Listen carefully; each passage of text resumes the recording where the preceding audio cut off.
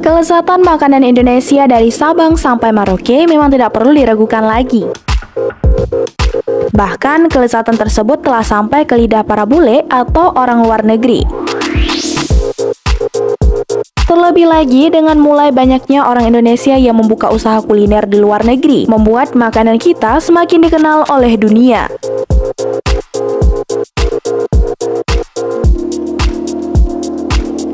Namun, pernahkah kamu bertanya mengenai harga tempe atau pisang goreng di luar negeri? Ya, mengutip dari berbagai sumber, ternyata terdapat fakta unik bahwa beragam makanan Indonesia memiliki harga yang fantastis ketika dijual di luar negeri. Bahkan di antaranya seakan sulit dipercaya karena makanan tersebut begitu sering dilihat dan dikonsumsi dengan harga terjangkau di Indonesia.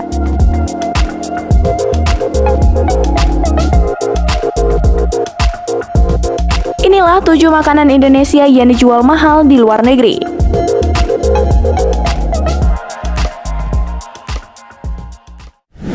Rendang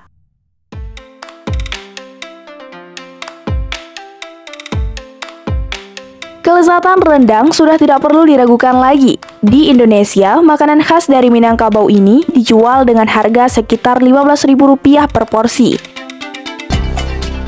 Namun, jika kamu sedang berada di Amerika Serikat, maka jangan kaget bila rendang dijual dengan harga Rp150.000. Bahkan di New Zealand dijual dengan harga 24 dolar New Zealand atau sekitar Rp207.000. Wah, mahal banget ya.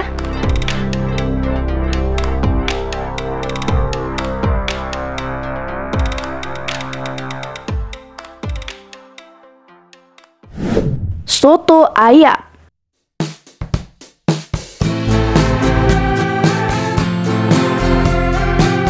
Makanan berkuah dengan irisan daging ayam, telur, seledri, dan bawang goreng memang menggugah selera siapa pun.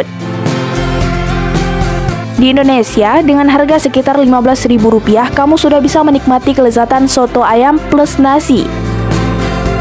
Namun, pernahkah kamu membayangkan harus mengeluarkan uang lebih dari Rp100.000 untuk semangkuk soto ayam? Ya, kenyataannya itulah uang yang harus kamu rogoh bila sedang berada di Amerika Serikat ataupun di benua Eropa.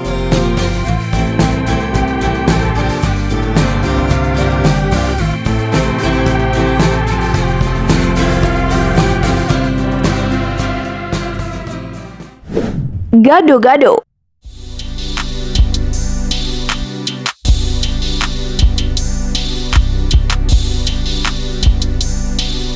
Salad with peanut sauce atau nama lokalnya gado-gado ternyata memiliki harga yang mahal di Amerika Serikat.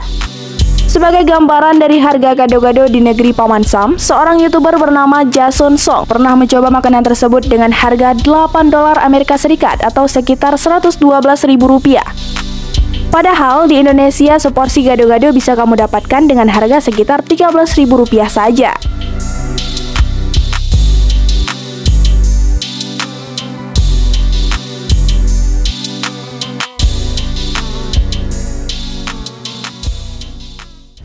Nasi goreng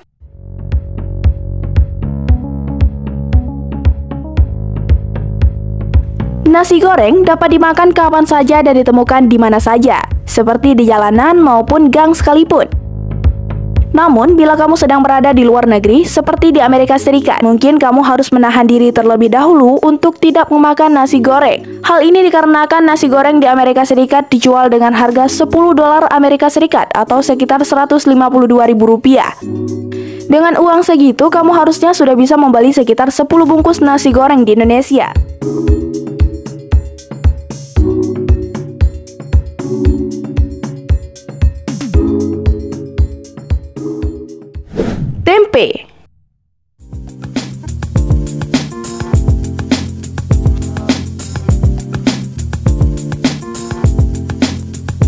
Tempe juga memiliki harga yang mahal di luar negeri. Dalam sebuah video yang diunggah oleh akun @tajana Shafira melalui TikTok memperlihatkan harga tempe dengan ukuran 226 gram di Amerika Serikat mencapai 26 dolar Amerika Serikat atau sekitar 400 ribu rupiah. Tentu hal ini sangat mengejutkan mengingat tempe yang dijual di Indonesia berkisar 5 ribuan saja.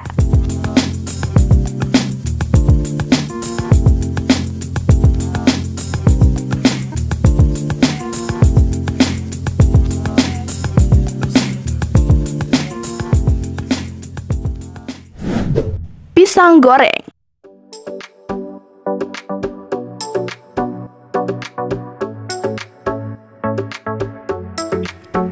Pisang goreng dan gorengan lainnya seperti bakwan, mendawan, cireng, dan sebagainya begitu mudah ditemukan di Indonesia. Bahkan salah satu alasan yang menjadikan gorengan banyak disukai orang karena harganya yang murah.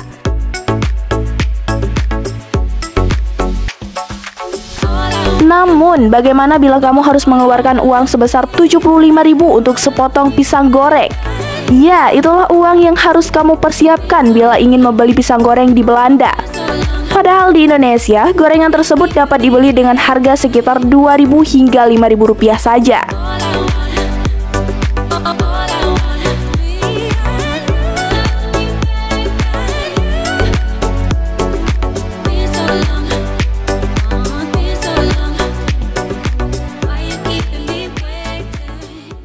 Mie instan.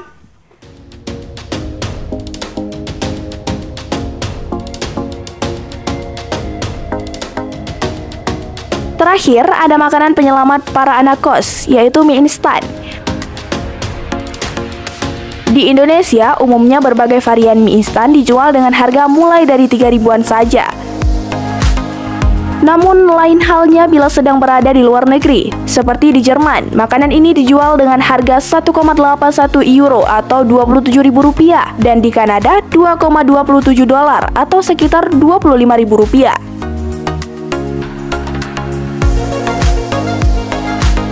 Nah, itulah tujuh makanan Indonesia yang dijual mahal di luar negeri. Berbagai faktor mungkin menjadi penyebab mahalnya makanan tersebut, seperti langkanya bahan baku dan tingginya pendapatan masyarakat di luar negeri. Kalau kamu sendiri sudah pernah mencoba makanan yang mana saja? Komen ya!